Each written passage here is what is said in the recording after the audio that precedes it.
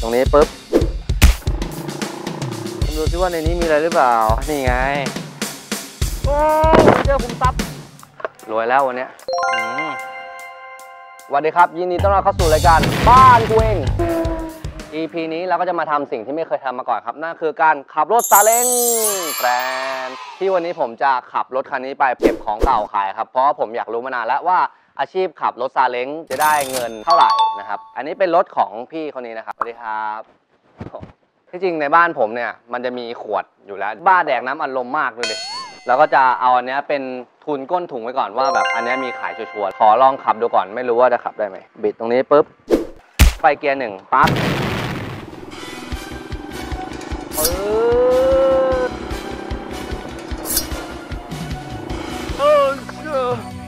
โอ้โหไอ้เหี้ย แค่ของบ้านกูก็เต็มรถเขาแล้วเนี่ย Let's go เราจะเริ่มหาของจากท้ายซอยก่อนแล้วกันครับ เพราะหลังซอยเนี่ยมีโรงงานอยู่ เดี๋ยวเรามาดูกันว่าเขาจะมีอะไรให้เราเอาไปขายบ้างหรือเปล่าเซมาลือชอบเกิร์ลเด้อเด้อเด้อไอ้เหี้ยเอียงเอียงเนี่ยนี่มีโรงงานอยู่ เฮ้ยนี่เจอเศษกระป๋องทำให้รู้ว่าเงินทองเนี่ยมีอยู่รอบตัวเรานะครับ อันนี้ก็ขวดพลาสติกนะครับ เฮ้ยนั่นไง วันนี้ผมขับซาเล้งมารับซื้อของเก่าครับ ขวดแก้วอะไรอย่างนี้ เหล็กเศษเหล็กอะไรอย่างนี้มีให้ไหมครับ ไม่มีนะครับ โอเคเฮ้ยนี่ไงในเนี้ยในนี้เอาไหมครับ ขวดเบียร์เนี่ย โอเคโหดมากครับโหนี่เจอขุมทรัพย์นะครับ ทั้งนั้นเลยเออรวยแล้ววันเนี้ยเฮ้ยมีอีกแล้วโหเยอะจริง โอ้ยอะฝากไปขวดหนึ่งถือไม่หมดว่ะ เป็นชีพที่ดูเหมือนง่ายนะ แค่เก็บของเนี้ยแต่จริงๆแม่งแค่นี้ก็เหนื่อยแล้ว เออมาไปกันต่อ ต่อไปนี้ผมจะใส่หน้ากากนี้นะครับ เสียใจกับสาวๆด้วยที่จะไม่ได้เห็นหน้าผมเต็มใบดูที่ว่าในนี้มีอะไรหรือเปล่า เหม็น มีแต่เศษซากอาหารครับ เป็นถังขยะบ้านคนอื่นไม่ค่อยกล้าค้นเท่าไหร่นะครับ เดี๋ยวคุยถังขยะบ้านตัวเองก่อน อันนี้ไม่ต้องตกใจนะครับ เป็นของพี่ซาเล้งเขานะครับปั๊บบ้านนี้หนักกว่าบ้านเด็กอีกบ้านกูเนี่ย แม่ ลูกมีอาชีพแล้ว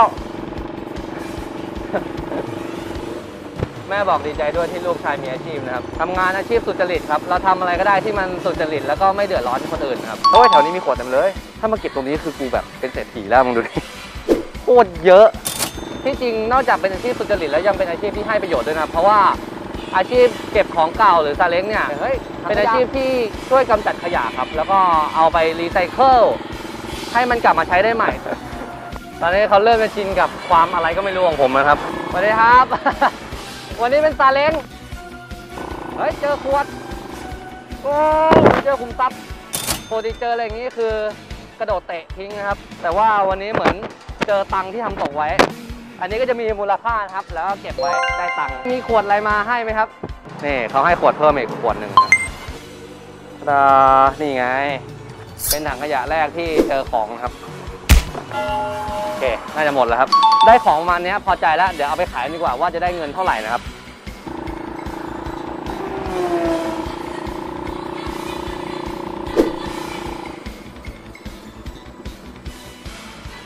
โอเคแล้วเราก็มาถึงเรียบร้อยนะครับกับร้าน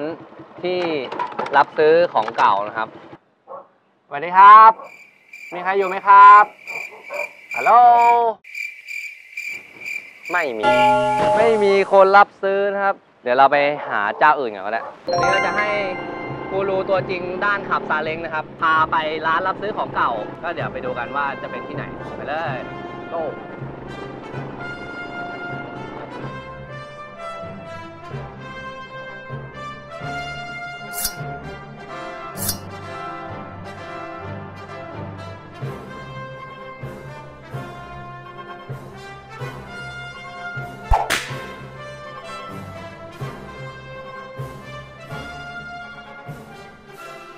เทียตอนหลังต้องแยกให้เขาอีกไหมเนี่ย ว่ารูไหนเป็นอะไรเนี่ย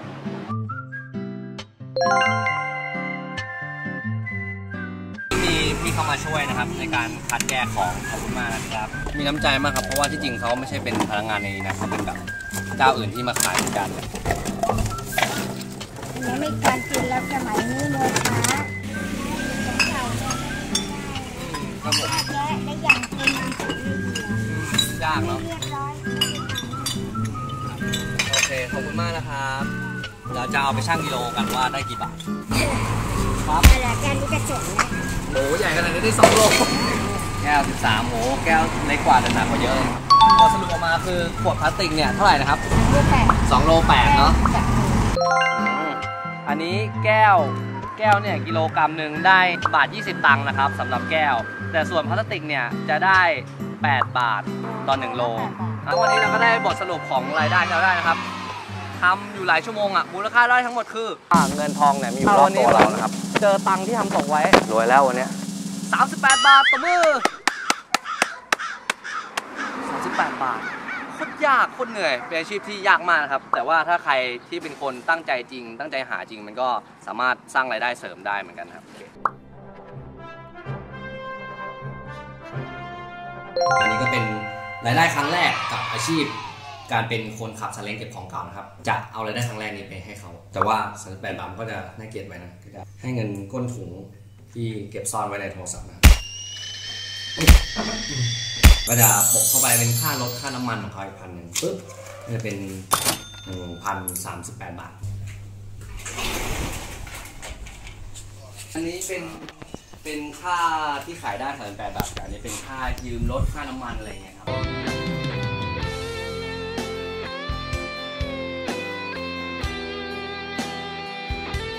ขอบคุณมากครับสำหรับวันนี้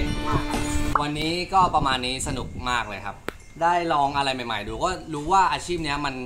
เหมือนจะง่ายนะ แต่จริงมันค่อนข้างยากนะกว่าเราจะเก็บขวดมาขายได้ใช่ไหมกว่าเราจะเอาไปชั่งน้ำหนักและการขายเนี่ยมันก็ไม่ใช่ว่าอยู่ๆเราจะขายได้เลยเราก็ต้องเอามาคัดแยก และทำตั้งนานเนี่ยได้ 38 บาท คือยากนะเป็นอาชีพที่ต้องอดทนสูง แล้วก็เป็นอาชีพที่ต้องมีความละเอียดด้วย วันนี้ก็ประมาณนี้ครับ ยังไงก็ฝากกดไลค์กด Subscribe และกดแชร์คลิปนี้ให้ด้วยถ้าคุณชอบนะครับ แล้วก็ไปดูกันว่าคลิปต่อไปเราไปทำอะไร ขอบคุณครับสวัสดีครับบ๊ายบาย